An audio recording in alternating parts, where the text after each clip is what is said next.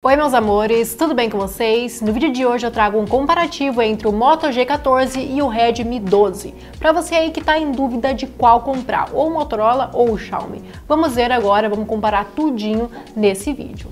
Mas antes de começar com o vídeo, já vai deixando o seu like, já se inscreve no canal e não esquece de ativar o sininho de notificação para não perder nenhum vídeo novo. E o link dos dois smartphones vão estar na descrição do vídeo para você conferir valores, etc. E depois do vídeo, corre me seguir lá no Instagram que está aparecendo aqui embaixo. Agora, bora pro vídeo!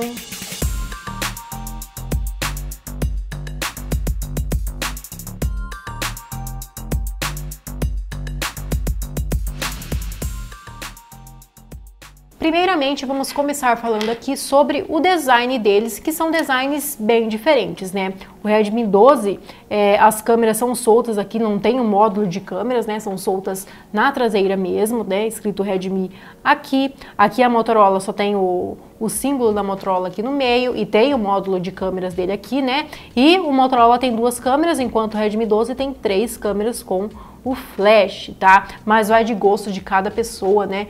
É, vai que você acha mais bonito o Motorola ou você acha mais bonito o Redmi 12, né? Então vai de gosto de cada pessoa. Comenta aí qual dos dois você acha mais bonito. Agora aqui na lateral deles tem botão power com sensor de impressão digital nos dois, botão de volume mais e menos nos dois também.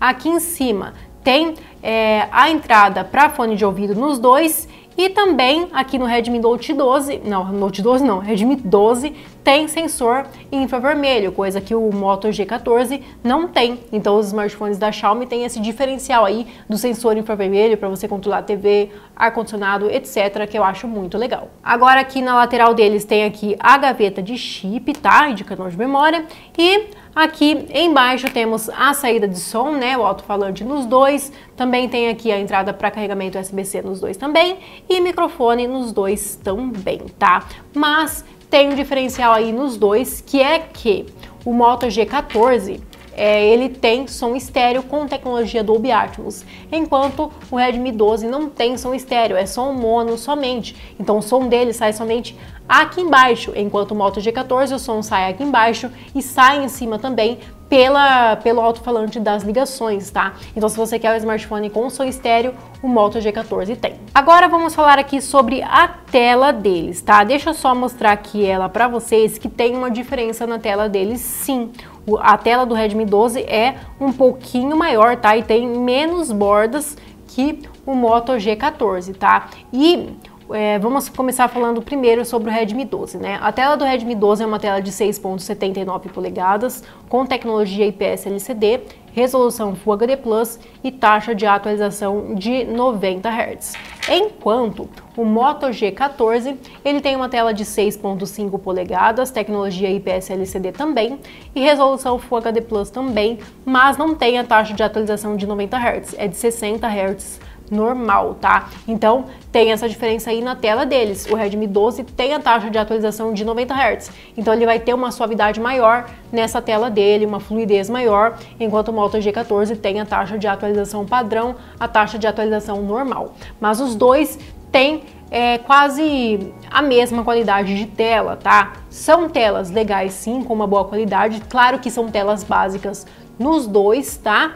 E que não vai ter problema nenhum para você utilizar no dia a dia. São telas com qualidades legais sim para você utilizar no dia a dia, mas o Redmi 12 sai ganhando na questão de taxa de atualização e na questão também é, do tamanho aí da tela. Agora vamos falar sobre a bateria deles. Os dois têm a bateria de 5.000 mAh, tá? Mas tem a diferença aí no carregador, enquanto o Moto G14 tem um carregador de 20 watts, o Redmi 12 tem um carregador de 18 watts, mas é uma pequena diferença aí no carregador deles, tá? E também na caixinha do Redmi 12 vem com capinha, tá? O Moto G14 não. E também no Redmi 12 vem uma película de plástico já aplicada na tela. E gente, não esquece que o link dos dois smartphones vão estar na descrição do vídeo para você conferir valores, etc. Hoje o valor deles estão bem próximos, mas vai na descrição do vídeo para você conferir o valor que eles estão custando agora, nesse momento, quando você está assistindo esse vídeo. E falando também sobre o processador deles, tá? O Moto G14 tem o processador Unisoc T616, tá?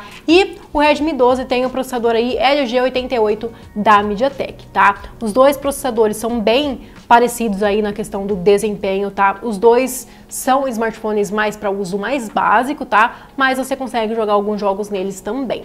É, vou mostrar aqui para vocês no Antutu a pontuação deles. O Redmi 12 faz 278 mil pontos por aí e o Moto G14 289 mil pontos por aí. É bastante próximo aí a pontuação deles, tá? E no Call of Duty, por exemplo, eles vão rodar em qualidade gráfica média e taxa de quadros alta, tá? É nessa qualidade mais ou menos que vai rodar aí os jogos mais pesados nele. Então você consegue jogar jogos neles também, sim, tá? só não consegue jogar na maior qualidade possível, na maior qualidade que tem. Mas, como eu falei, os dois é um para um uso mais básico aí para o seu dia a dia. E agora vamos falar sobre as câmeras deles, tá? O Redmi 12, como eu mostrei para vocês no começo do vídeo, tem três câmeras e o Moto G14 tem duas câmeras só, tá? O Redmi 12 tem uma câmera principal traseira de 50 megapixels, tem também câmera ultra-wide de 8 megapixels, macro de 2 e tem a sua câmera frontal aqui na frente de 8 megapixels, tá?